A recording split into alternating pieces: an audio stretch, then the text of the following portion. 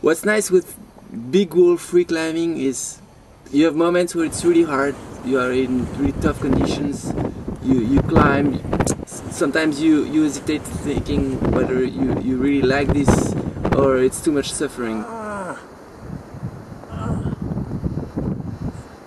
But when you get the opportunity to set your portaledge and to sit down and look around, then you understand why you do all this effort. And this is the most magical moment I've ever had. Yeah, we're here on the ledge. The shattered pillar. We're all sort of shattered ourselves. So far, my team seems to be holding out pretty well, so I'm pretty happy about it. Maybe I'll give them a piece of chocolate tonight to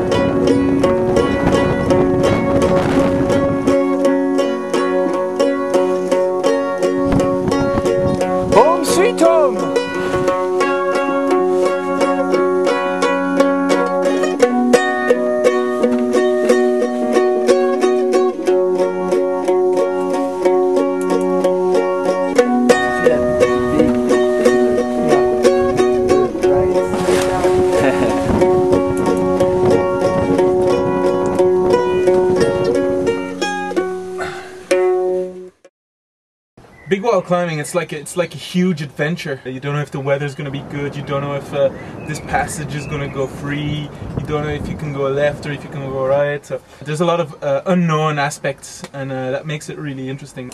Rock climbing, buddy. Rock climbing. And if the rock doesn't allow you to climb, you can't go. I think the the climbing and the free climbing is uh, what we enjoy the most. I have to put all my climbing skill together to achieve one thing, one objective, and it's like from bouldering to endurance routes to um, being tired after many days of hauling and living on the wall. The research, the, ex- the exploration of new vertical ground, Got this. having to to read the the rock It's like a thousand, like millions of small orgasms all over your body. The tips of your hair, you can feel orgasms. That's what that's what it's like.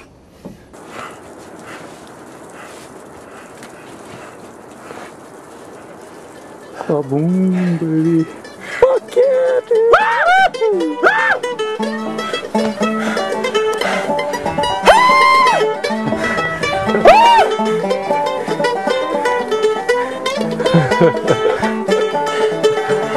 nice, buddy. So when you eat a sandwich up on a big wall, you can like really taste. You can taste the sandwich. You can like taste it in your little toe nail. Mmm.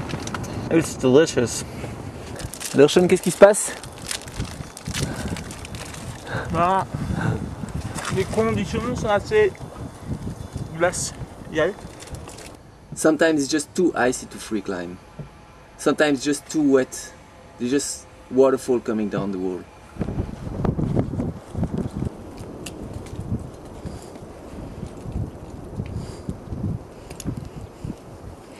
On a wall, the conditions are subjective. It's all in your head.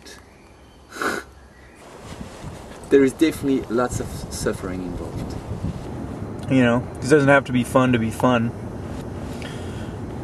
Or sometimes you just want to stay in your portaledge and, and not ever come out of it anymore. Fifth day on the South African. The weather is bad. We are just hanging out all day in um, the portaledge, playing music, chilling. Let's see what, how the weather is. The bad weather is just it's part of Patagonia. It's part of the experience. You just wish you could guess what the weather will be, but you ca- you just can't. So you might as well forget about it. I don't think we ever really complain if we, if we don't really get to climb. If, Shit's really hitting the fan right now. even if we're stuck in a cave for days or stuck in the portaledge for days in a row, we're just happy to be in this amazing place. It will probably get soon really good, I believe. For the 13 days that we were up there, basically we didn't get to see the sun at all. One of the benefits of being the cook. It's also hard dealing with the food. We have ration food for every day. Uh, there is a little problem with the the cookies because there is one extra. I don't know what to do with it. Oops! I took a bite slightly bigger than my share. We were, we were actually very lucky because we had uh, lovely conditions when we reached the summit, so it was nice to be up there and enjoy the Patagonia conditions. Les conditions sont intéressantes, assez bonnes. It's not just about reaching the summit, but uh, reaching the summit is always nice. Yeah, buddy! Woo! That's it, we can get higher than here!